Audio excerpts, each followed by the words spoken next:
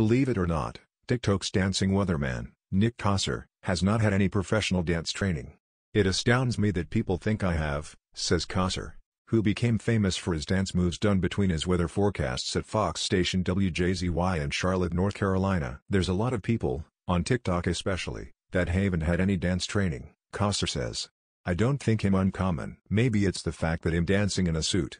On his TikTok channel, at official Nick Kosir, the meteorologist recently danced alongside world, famous dance crew the Jabbawockeez, fellow TikTok dancers Cousin Keither and Happy Kelly, and has gained 2.5 million followers on the video social media platform. Education, schools warn parents about the dangers of TikTok challenges. Kosir has brought those moves and his family to the New York area for a new job with the Fox Weather app, a new free, ad, supported 24-7 streaming weather service that launched October 25, getting TikTok famous, was an accident.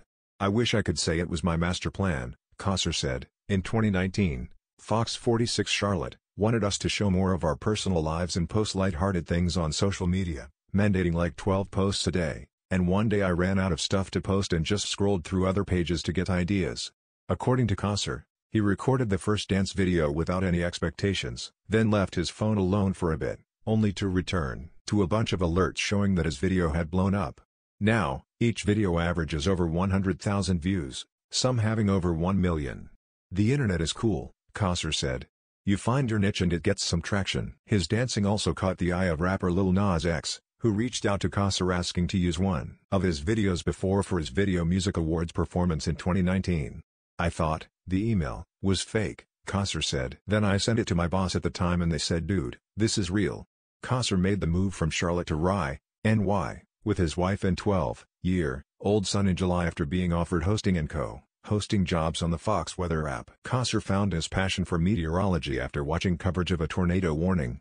Since graduating with his meteorology certification from Mississippi State University in 2010, Kosir worked at stations in Beaumont, Texas, and Twin Falls, Idaho before landing in Charlotte.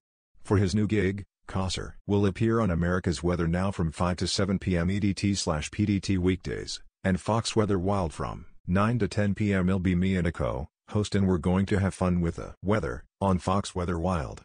There will be viral weather clips, people going viral for weather-related things and weather-adjacent things, kind of like a daytime talk show meets ridiculousness meets Fox Weather, he said.